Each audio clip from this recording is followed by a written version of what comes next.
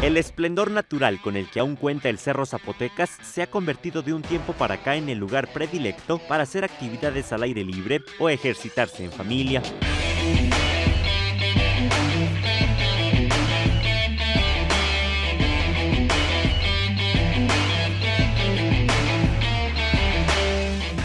Cada fin de semana decenas de personas suben al cerro y disfrutan de respirar aire fresco mientras caminan por el bosque en compañía de sus mascotas. Los sábados y domingos son también los días de más afluencia de ciclistas cholultecas y originarios de otras regiones de Puebla que ven en este espacio un desafío para recorrer a bordo de sus bicicletas. Vengo a menudo y pues es un lugar muy tranquilo, muy seguro hasta el momento.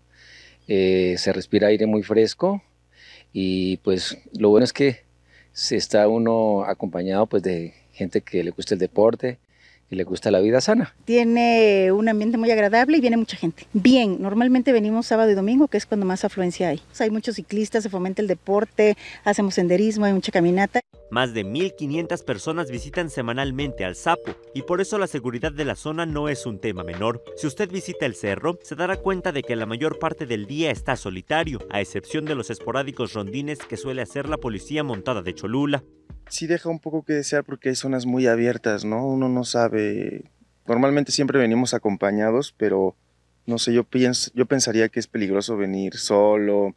Hay mucho campo, alguien te puede salir. Los mismos habitantes de ahí de, del cerro, de las estas siete juntas auxiliares, nos auxilian muchísimo en el tema de seguridad, en el tema también de mantener el cerro limpio. Ahorita tenemos un proyecto para el 2023 también de meter algunas bicicletas con policías para que se tengamos todavía aún más reforzada el tema de seguridad.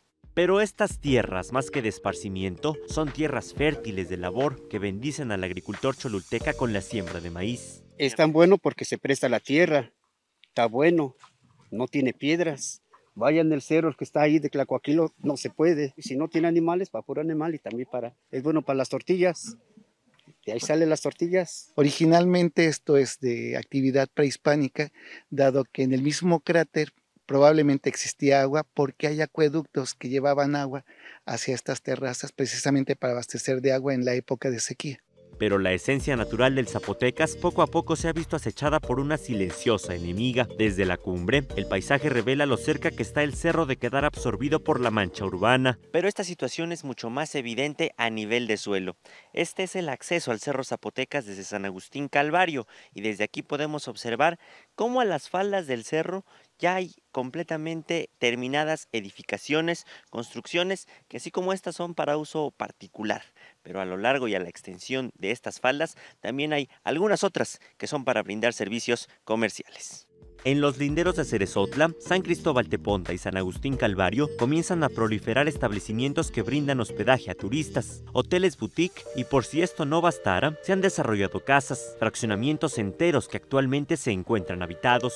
Los años recientes han sido por mucho de los más difíciles en toda la existencia del Zapotecas. En 2019, una plaga de escarabajo descortezador atacó a cientos de árboles y tuvieron que ser derribados para detener su impacto. Además, tan solo en lo que va del 2020 ha sido objeto de 69 incendios forestales. Nos dimos a la tarea durante los tres años que yo estuve al frente de la presidencia municipal de San Pedro Cholula, con todo el equipo, evidentemente, de sembrar algo así como 7.500 árboles. Eh, sembramos y estas son cifras finalmente que están avaladas por la propia Secretaría de Medio Ambiente a nivel federal y a nivel estatal.